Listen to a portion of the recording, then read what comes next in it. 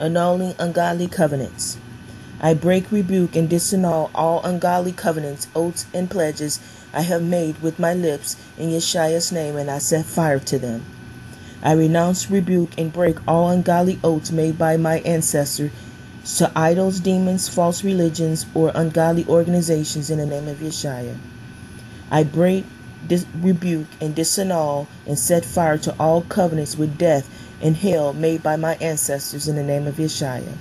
I break, rebuke, and disannul and set fire to all ungodly covenants made with idols or demons by my ancestors in the name of Yeshua.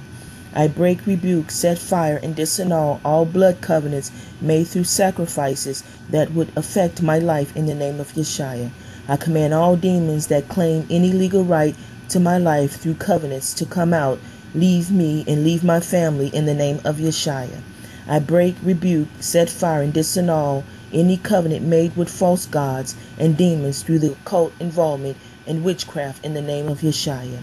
I break, break, rebuke, disannul all spirits' marriages that would cause incubus and succubus demons to attack my life in the name of Yeshua. I break, rebuke, and set fire and disannul any marriage to any demon that would affect my life in the name of Yeshua. I break all agreements with hell in the name of Yeshua.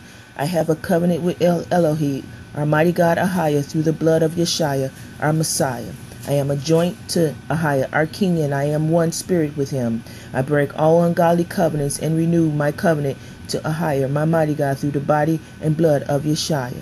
I divorce myself from any demon that would claim my life through any ancestral covenants in the name of Yeshua. I bind, rebuke, and set fire and cast out any family demon that will follow my life through ancestral covenants in the name of Yeshua. We bless you, Ahayah, for your covenant and keeping us safe. In the name of Yeshua. Blessed be his name, Ahayah Ayah forevermore. Amen.